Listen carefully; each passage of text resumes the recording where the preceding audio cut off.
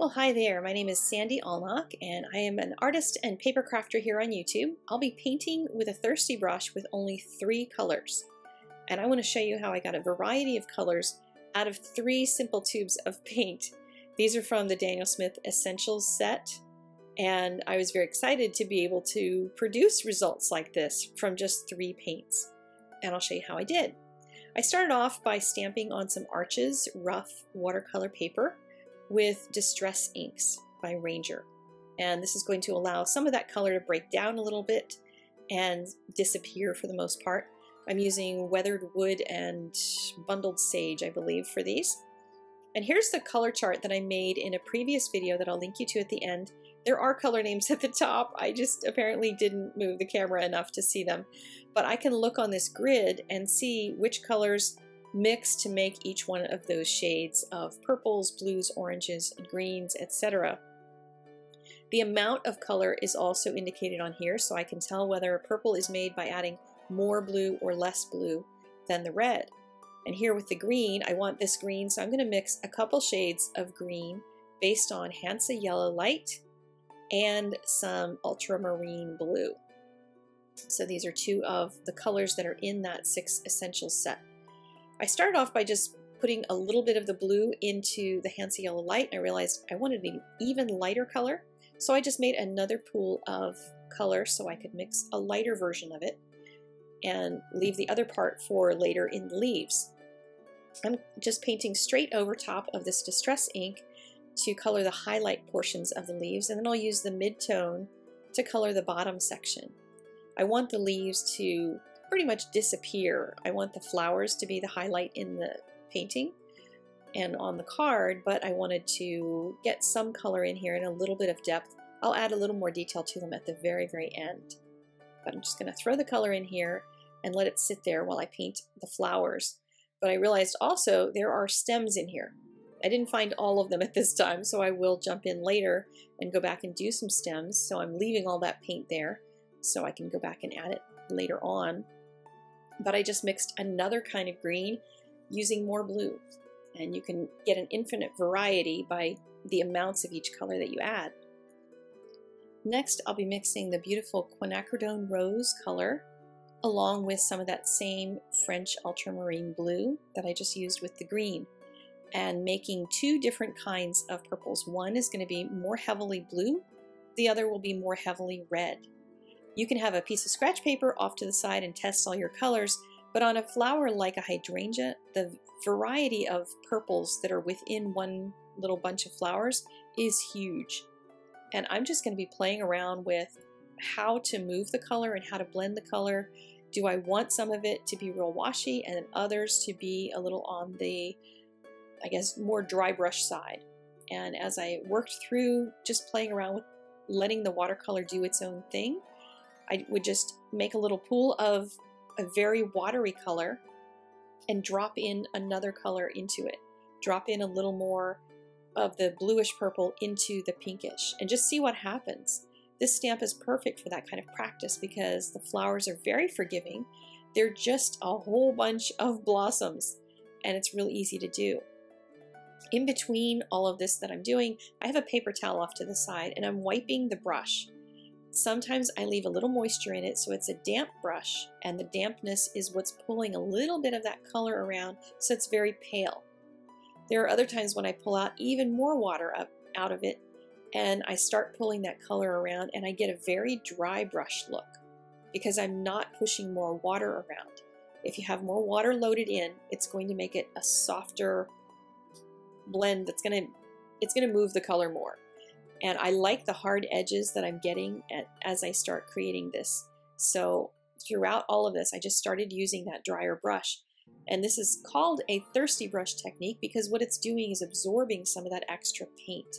If you have pools of paint, if you've mixed up a color that's too watery and you just have too much of it on there, empty your brush of color and water and squeeze it all out on your paper towel and then just lay it down and let it suck the color back out. You can do it with a paper towel, but sometimes you get a really interesting effect using the brush to pull that color out instead of trying to dab it in some way. Because you can dab it out of just one little tiny corner if you target it with your brush. The brush I'm using is a silver brush from their Black Velvet line, which is my favorite. And one of the things that's really nice is even though I'm using a big fat brush, this is a number eight, I'm also getting a lot of detail. You can see how small of a line I can get because it has a real nice point to it. And I'm speeding up the painting because there's going to be a lot of this same type of flower painting going on, but I'll chat a little bit more with you as I go along here. When you're buying brushes, one of the important things that that you need to look for is will it hold enough paint and water in it and there are some brushes that literally, you know, as soon as you get your paint in them and try them, it just, it's almost like they're dry immediately once you put that, that color out there. But here with this brush, it allows it to continue to put out a little color and a little water because it's got a really nice body to it. It also has a very nice fine point. And there are a lot of brushes that don't necessarily get to a fine point like this. Now here I found my spot where I, all those little stems are inside of the flower, so I stopped to mix a little bit of that green. And when you are mixing your colors, you can leave them on your palette and you can re-wet anything and reuse that color again. So I can get that same green that I had before just by picking it up on the palette. Now throughout this, I didn't mix up a ton of purple. I'm just mixing up a little at a time to see how much I need because I tend to wash my palette entirely when I'm done with my painting unless I'm going to paint something else that's going to have those colors right away. But in general, I, I just, I have in this weird habit, I know there are a lot of artists who love to have all that color sitting on their palette, but I like clean places so I can choose what colors are going to be on there rather than, okay, yesterday I painted with green, so now everything I paint is going to have a green tinge to it. So I'm a little crazy that way. But here I'm, I mixed up a color that wasn't quite the same purple, but what I'm doing is taking that thirsty brush and pushing some of that color from the shadow across each petal. And I'm leaving white space because the white space is what's going to make it have that real watercolor feel because it almost, it, it sort of makes the flower start to sparkle, I guess you might say. And it doesn't matter that the purple is a little different. It's a little more red, so this bottom flower is a little more on the heavy red side. I'm just alternating my flowers. So some of them I'll pull from the blue pile of paint, and some I pull from the red, and alternate them back and forth. And just by the way I'm laying my brush down, I'm sort of laying it on its side so that I get those funky little edges that you get from watercoloring this way. So let's speed through the rest of this and you can watch the flower develop. And you can also see that some of that rich color that we had on the left-hand side is starting to dry, so it's lightening. For the most part, all watercolor is going to lighten. There's very few, excuse me, that are going to stay exactly the color that you put them down. So if you want something to be richer, you can either mix a richer color to start with, and I would test it out on a piece of paper to make sure it's the color that you want and let it dry fully so you can see what it's going to dry like. Or just go back over with some layers at the end and do a little glazing with a deeper color. So at the very end of this, I'm going to add more deep shadows because I started seeing how much it was softening and that there were some areas that had nice rich contrast and others that didn't. But with watercolor, you can always go back in and add a little bit more later on. And you can also lift off some colors. There's lots of different ways that you can sort of modulate the color after you're finished with the first layer, the first glaze of paint. So just about finished with this, and I was debating whether or not I wanted background around it or whether I just wanted to leave these colors against this fresh white background. And the more I looked at it, the more I just was thinking in my brain, look at that beautiful blue that's on my palette. Just look at that. What would happen if I tried to do a blue background? Now I have tried large areas of solid colors before. I haven't tried it, I don't think, on arches. And if I have, then I didn't have success at it because I know I've tried this a few times and it was not the best move. But I decided to try it with this and it for the most part came out okay. And I'll give you a few tips if you're trying this, but it's not for the faint at heart. Um, I watched a video from Anna Mason, and she has an online watercolor school, and it is fabulous. She is amazing. And she's the one that put a video up that taught me this, and I was just absolutely blown away. I'll link you to it at the end of this video. And she talked about how to keep the edges wet. So with watercolor, as soon as you let one edge dry, it's going to have a little hard edge there, and you want to keep working it and keep that edge, the leading edge, wet, which means you're kind of working in multiple places at the same time. I stopped the blue. I didn't finish that one side over on the the far left end, as you're looking at it now, because I wanted to continue keeping this other area wet. That little section I can fill in later.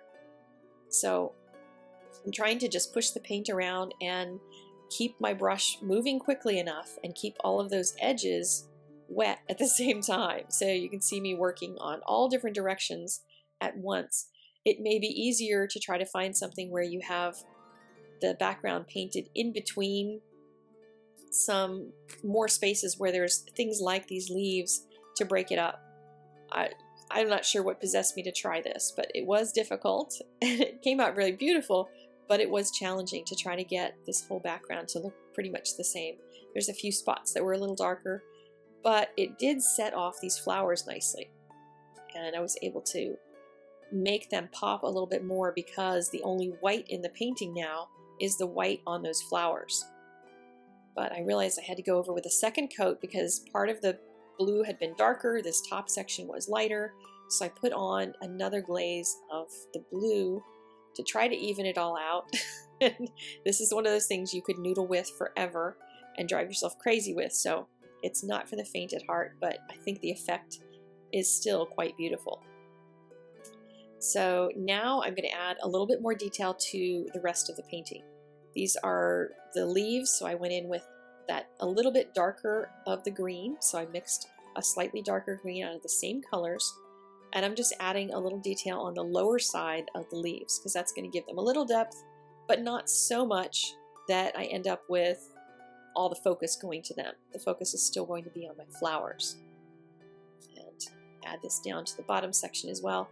And I'm just using really simple strokes along the same direction as the lines of the stamp that already gave me that guidance. The stamp lines did not really disappear like I had thought they might.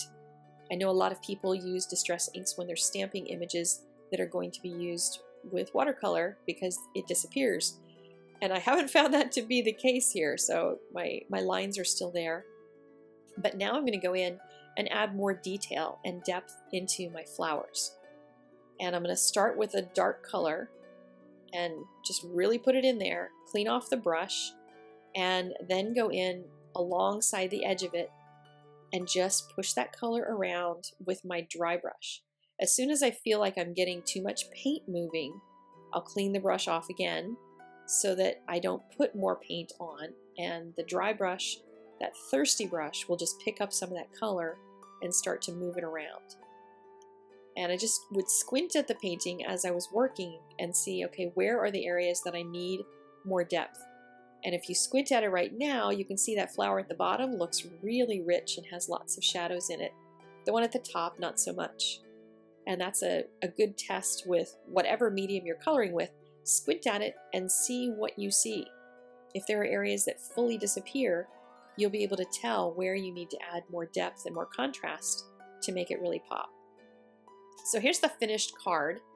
And I just absolutely love how it came out. It is totally fabulous. The die is also a die from Ellen Hutson in this new release. Um, the uh, totally is die cut out of a piece of vellum so that it sticks up off of the little piece of vellum, that little flag banner thing that I made. And the fabulous is die cut out of black shimmery cardstock and glued down. So Here's a couple other videos, including that one that I told you about that I made the chart, and then the Anna Mason video about the background, as well as another of my Daniel Smith videos.